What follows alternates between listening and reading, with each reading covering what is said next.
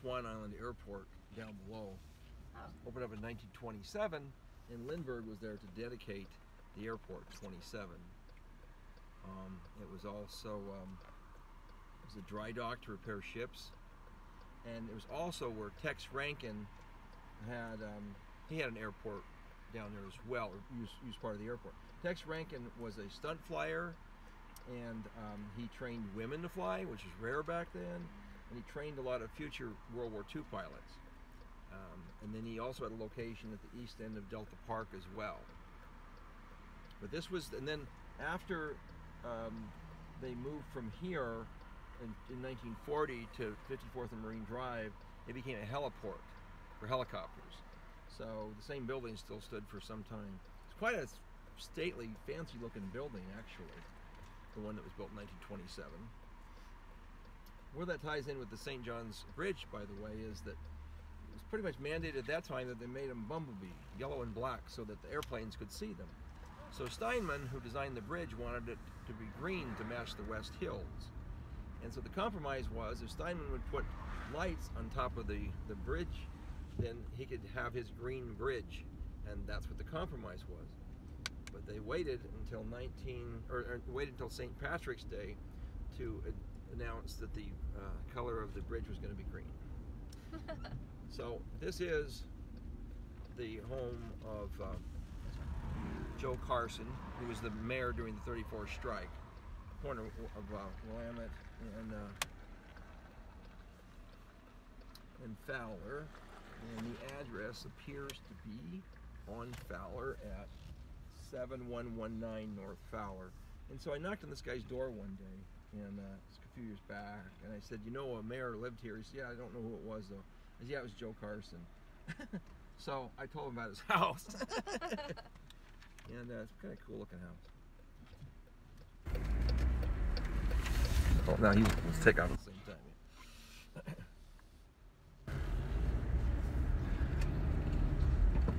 Neat homes in through here.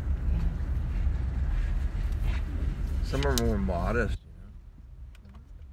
I'm gonna turn around, avoid the Lombard here. Yeah.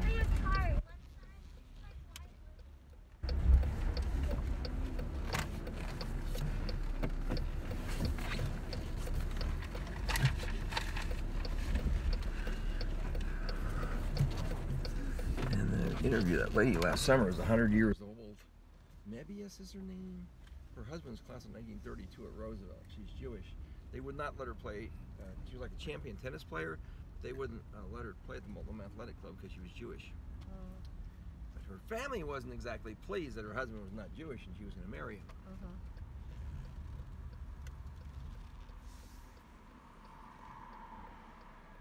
This is embarrassing to say, but I've never been down to see where the Swan Island Airport was down there. And it's right here in my neck of the woods.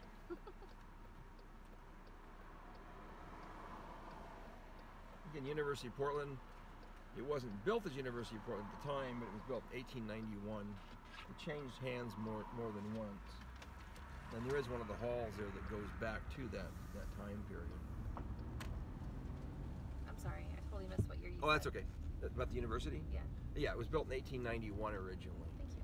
So, um, yeah, there's stories about some of the students coming up, you know, by boat to attend the university and so forth. Huh.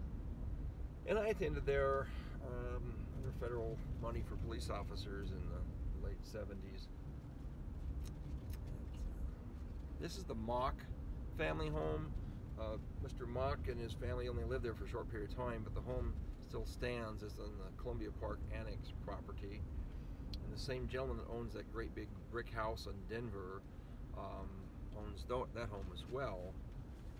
I forget his name now, but he is in full intention to restore the home. So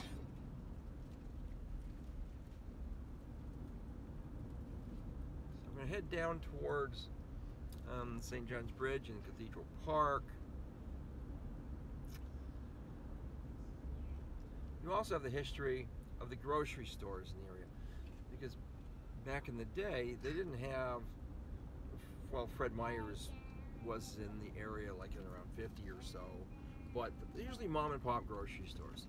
Again, ours is Bradley's grocery store. My dad would every Friday he would go in there and pay his, his bill. Um, I would pick up the groceries for dinner that night. Mom would do the list on a little notepad. I would take it up to Bradley's store. It was they had vegetables, they had meat, they had everything. Mr. Bradley would keep track of it. Dad would pay it at the end of the week or, or on Friday. And so there was pay and take it. And in fact, on Facebook right now, there's got people naming all these different locations. And there was one, well, it was in fact where um, the income tax place was on, on South Jersey and Polk. That was uh, Ralph, um, I want to say Matheson, something like that. He went to Roosevelt High School. Um, he um, uh, and then he worked there during uh, you know, during his school year. He would work there at the store. Two other gentlemen owned it. He was attending the I think the University of Oregon, and um, he had an opportunity to buy the store. So before he graduated, he went ahead and bought the store. He would live to be I think 100 years old, and he had that store for years and years and years. The local kids talk about how they would steal candy from the store. I think he knew that they were taking the candy because there's too many kids that said that they were taking the candy. But um, he had that store all those years, and he was another example of mom and pop grocery store. On Fessenden, there was Shamrock. I didn't go to that one because it's too far out. There was another one right in about here on Willamette and Van Houten. That was an old time grocery store. That was open until like 15, 20 years ago. And then the um, Portway Tavern was a grocery store as well. Keep in mind, you cannot sell alcohol during the Prohibition. So some of the uh, local taverns became grocery stores. Uh, But what, by the way, one way they would get around the alcohol prohibition was if your doctor prescribed alcohol for you, they would they would they would uh, give you alcohol. and then there were those like my grandfather that was making whatever he was making in his bathtub, which Uncle Rod and I tried by the way at, at 15 years old. I can still remember we, we put too much yeast, yeast in the bottles or something. So they're in Rodney's basement. We had the old Oh, crock no. and stuff. And every once in a while, middle of like bang, the bottle would explode in the middle of the night. oh!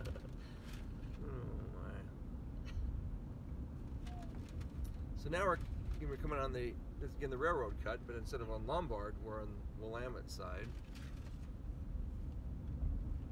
And you also have the history of the uh, gas stations, automotive places, as well as the grocery stores. This is a great view of the bridge right here. And there's some old photographs that show this. So once the St. John's Bridge was built in 1931, then they had to rename that something, the Railroad Bridge. And this is uh, Tom Stubblefield's house here, and this was Dave Callison's house as well. okay. Not sure what the address is, but um, as Tom Stubblefield will tell you, he bought it on a handshake. And uh, Dave Callison wanted the house back later, but uh, Stubblefield didn't want to sell it to him. Sell it to him.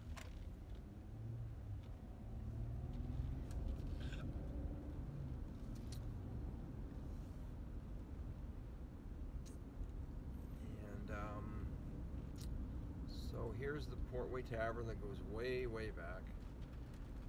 Some of the old timers talked about going here and here as kids and, and buying milk. The access road was right here that went down to the um, the, the waterfront down there. Where that old ship is. Now, Can you still access the ship? uh, wait, um, uh, wait. Oh, which ship are you referring to? There's like a boat on the beach that's. Now that I'm not sure about. what we're coming up on right now, and I should have. um, we're coming up on Dr. Graves' home, and uh, again, Dr. Graves was a female doctor in St. John's, worked here for years and years. And Lewis Stone, who was part, active part of my group, was born in 1920, and Dr. Graves delivered. so this is on the corner of. Um, this is Crawford. Oh, oh, this this this location here. Um, one of Simon Benson's sons owned this mansion. Looks like 7654 was probably like the servants' quarters, um, but it's quite a stately home. I don't say no trespassing. I can actually drive around it. No, private residence. But Um, so, oh my gosh, I remember that was for sale not that long ago for like five hundred thousand dollars, half a million. Jeez. So that's really cool. And then you see the, the railroad bridge here as well. In the early 70s, uh, New Year's Eve, uh, Don't know what went wrong, but one of the trains went in the water. So this is cool. I'd forgotten about this. It's it's referred to as the Benson Cheney House, I think, because the Cheneys owned it after them. One of the descendants of the Bensons, I told him this was here, and he says, "Never heard of it." I says, "Yeah, let me educate." I gave him the information on it. Yeah, that was it was part of uh, one of Benson's sons owned it for a while.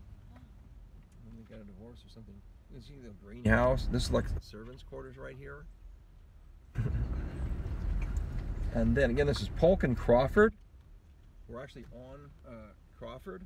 And so this old home back in here, it looks like 7706, was belonged to Dr. Graves. Oh. And it was her um, uh, grandparents that lived in St. John's and some of the pioneers.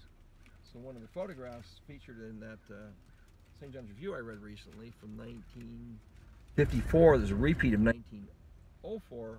It has a picture for that Dr. Graves had presented to them. Oh wow. So one of one of the older streets here.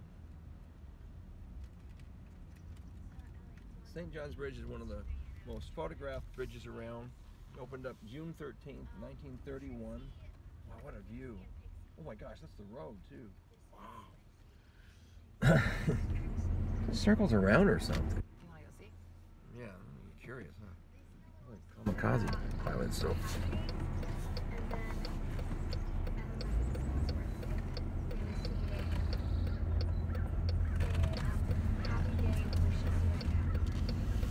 I didn't know this road was down there. Should know that. It's old homes, obviously. Yeah.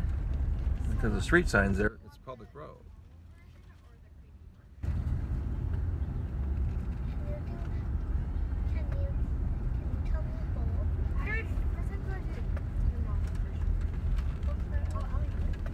Bradford. Bradford. Wow. Bradford and Tyler. Well, they don't get much more uh, waterfront than that. It's like a dead end here, so I'm kind of turn around. Where does it go around?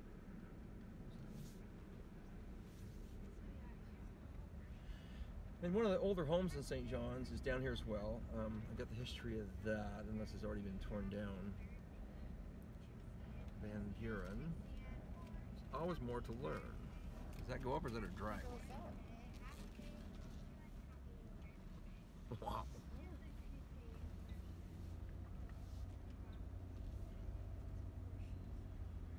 I didn't know this was here. Neither. Imagine they get too much through traffic. Yeah.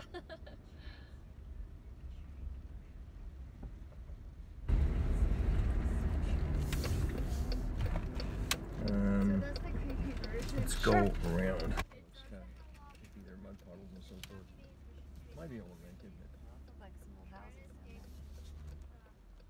Yeah, there is that. That's what I'm gonna access. Yeah.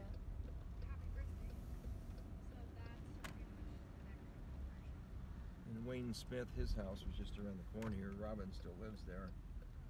His son.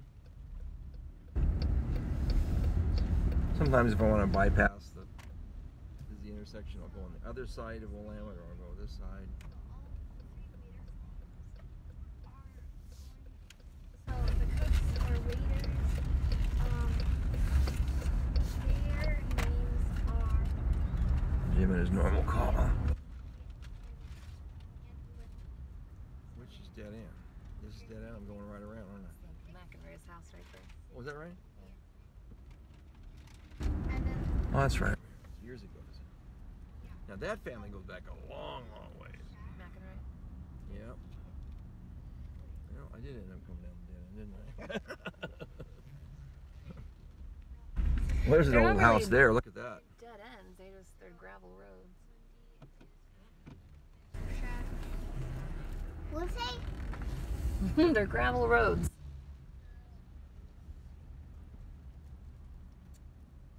Hmm. That one right there. That these are old, old. Oh yeah.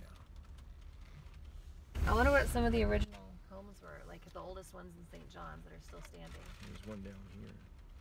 Near McKinney's old place. Yeah. It's like stuck in grass. Oh, it's all right, buddy. We're not gonna get stuck in the grass. Let's watch this guy come through and see what it looks like. Pave the way for me, so to speak. I want to get some. That's by you. Are we going to go in here by mud? Yeah, we are. Oh, farts crossing.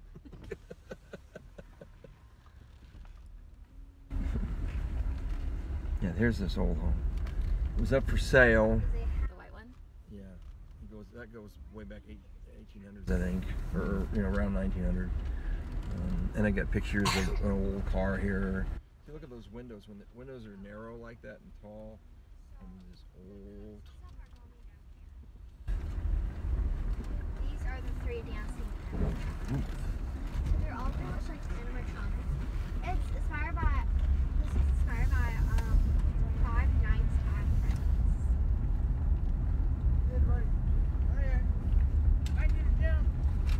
Do? He needs a jump.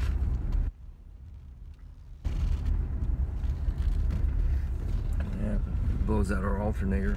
Oh, sorry. Call Papa Lock.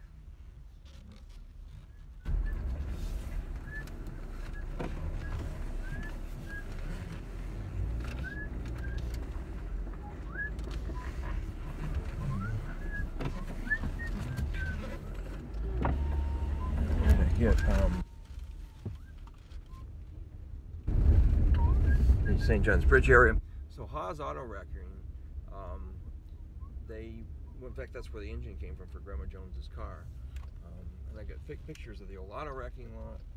And then, so Howard Galbraith, the unofficial mayor of St. John's, class of 1930, um, strong, staunch advocate for St. John's. He tried to get a planetarium down where the uh, um, Chimney Park is. Came really close. Huge um, arrowhead collection. And uh, his son still has it. Roger. Roger still lives in the old family home in North Willamette, the 9800 block. Grandma Joan knew him really well.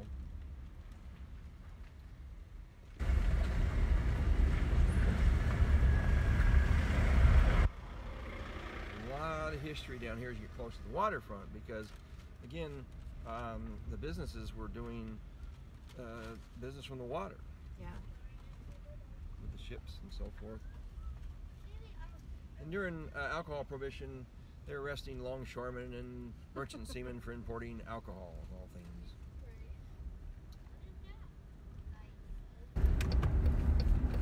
So, uh, this is where Haas Auto Wrecking was. It was on this street, right in through. Oh no, it wasn't. Wait a minute. One more. One more. Correction. Okay.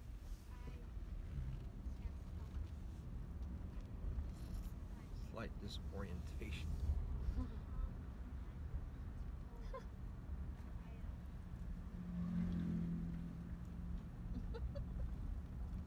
Was the ship back there? There's a Th- that was the boat. That was. Was it there? No. There's no. There's like a crashed boat on the beach down I- by Portway Tavern. Oh, oh. It's like falling apart. It was made of wood. no, there was a there's a like a boat here, like the the Ark of St. John's, Noah's Ark of St. John's. Yeah. There's also um, a train caboose next to it. I didn't know that. But did we see the boat? No. Not the one I'm talking about. Okay. The one I'm talking about, it's it's like a hike down to the water. It's on. It's in the water still. Yeah, I remember that one. This is you know, Cathedral Park, and of course they have the annual jazz festival right here that Norman Sylvester plays in. But this is a wrecking yard right here. This is Haas Auto Wrecking. And so um, Howard Galbraith, when he passed away, and we are now in the corner of North Pittsburgh and Crawford.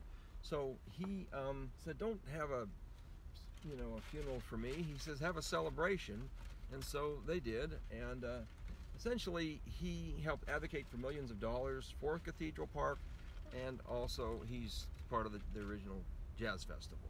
Oh. So when I was growing up, they didn't have the developed park over here. Um, they, this was it, and you would come down here, and they had the, the boat docks down here, and we would fish off the docks as kids with a dozen night crawlers or dough balls or corn or whatever, and we would go out there, and Grandma Joan would pick us up, um, McCormick and Baxter was a creosote factory, and they kind of kept it a secret, all the pollutions they were putting into the river. Creosote. One summer, there was some St. John's boys in the water, and their legs started burning, Oh. and they couldn't figure out why their legs started burning. Well, it was because of those two boys that walked into that creosote. The creosote was discovered in, in the Willamette River. So th- this is the dock that I used to come down to when I was a kid. And of course, you can see um, Kaylee's teacher, Ms. McNamara, wanted to know why it was called Cathedral Park. So as you look down from up above, look down from North Edison, you'll see looks like the cathedral windows, right? And this is also the site where they would have, um, before the bridge was put in 31, the mode of transportation was ferry boats. And we covered the names of those ferry boats yesterday. One of them was named James John to honor James John. And his home was, was right in here along the, the riverbank. And uh, again, we'd fish here, and I wasn't much for swimming here. It was gonna really appeal to me. When did this stop being a, a junkyard? um, around um, in the 70s, I think. We, you know, the, the Oh. history is there as far as the documentation, as far and there are still some haws. I see them on Facebook, and I've actually talked with some of them. Oh. that, that are descendants of the owner of the wrecking yard. And there is a um, plaque within walking distance. And if they want to keep on a little bit of exercise, Well, you're not going to get out. no, no, okay, that's fine. We'll so never get them back in. yeah, so it, it's it's over here, and uh, it depicts the history of St. John's um, all the way from the Native Americans, and it's on the path, the walking path over here. Because I was looking for a memorial for Howard Galbraith. Well, Howard Galbraith is part of that that dedication to um, uh, St. John's, or, or preserving the history, a, Howard, a memorial to Howard Galbraith.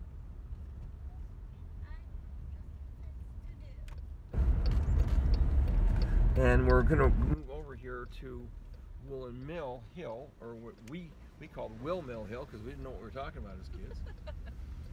and the hill that I used to go down to when it was snowing and icy, because when I was growing up, there was some pretty good ice and snowstorms. There's Bernie's Hill, that was on St. John's Avenue from Edison to or Willamette to Edison, and um, let's see what remains of the woolen mill.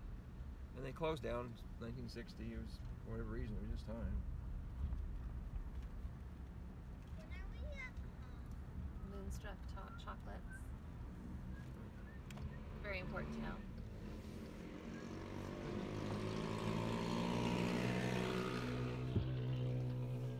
That was kind of what our motorcycle looked like, or sounded like when we cut the mufflers on. so this was all woolen, the woolen mills in through here, Oh, okay. and it was big, and they employed a lot of people. And it was within walking distance. So if you had a home here, you could walk here to work, to and Yeah. from work.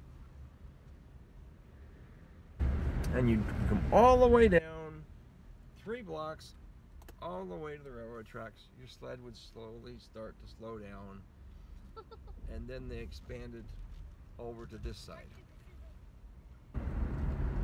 Because the other one was the boat dock originally over there, and then they decided to expand here. Terry Schrunk, and I confirmed that recently with one of the friends he used to hang out with. Terry Schrunk actually advocated for St. John's. He lived here his entire life. He grew up here. His parents came from Silverton, Oregon. Um, very active family. His sister was um, active in the military during World War II. Um,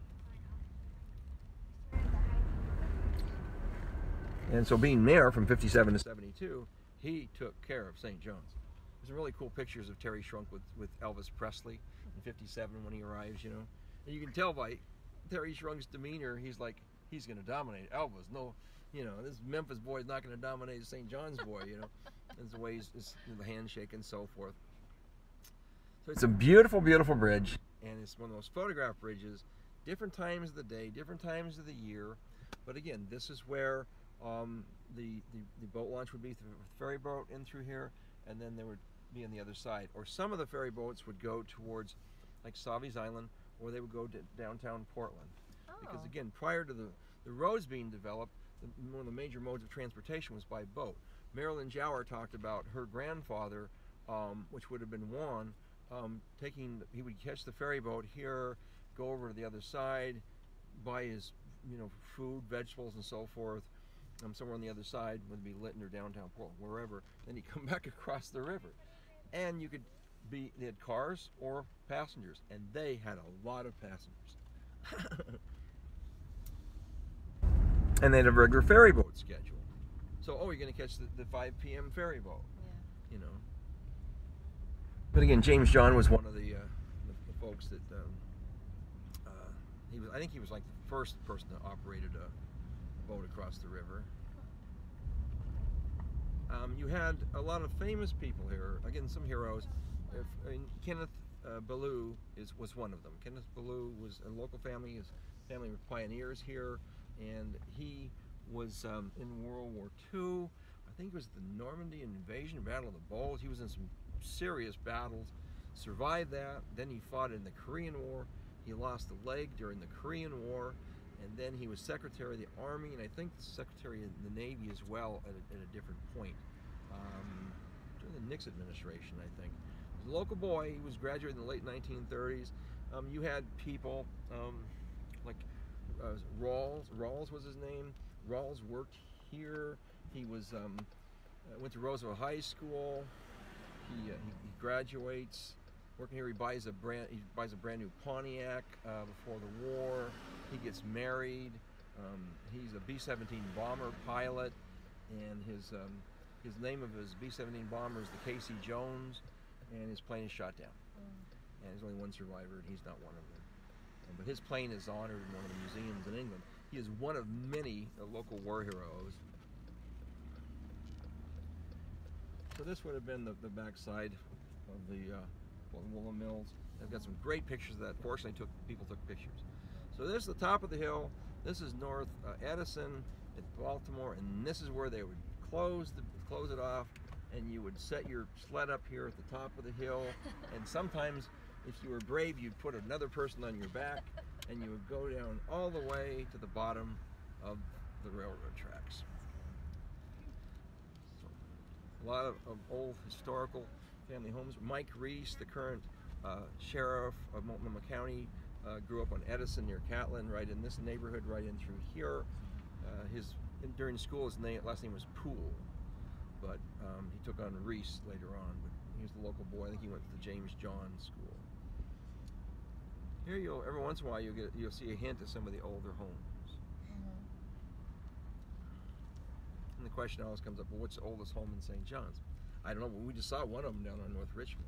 You know. And we're going to come up on a. Um, oh, should have went up to Willamette, but I'll go back as well. So when I was delivering newspapers in the 1960s, there was an older couple lived down here in North Edison. I'll show you the home in a moment. They were older, and then so as I'm doing my research for the uh, Roosevelt High School Veterans Memorial, I came across a some research. In fact, it's in these history books right here. Um, there's mother and father, Nellie, and I think George Miles, and um, so and then there's, there's sons and a daughter, and one son is is uh, Bill William Miles, another one is Robert Miles, and then when I did my was reading 1943 St. John's Review, here they're, they're noting Robert Miles is home on furlough, he's home on leave. And what was going to happen a year later? Robert Miles would lose his life during the Normandy invasion. But his brother Bill was a because we weren't in the war yet. Uh, he was a Royal Air Force pilot, an RAF pilot, and so then once we got in the war, then he um, he became a pilot for the U.S. Air Force. So this was Bernie's Hill. This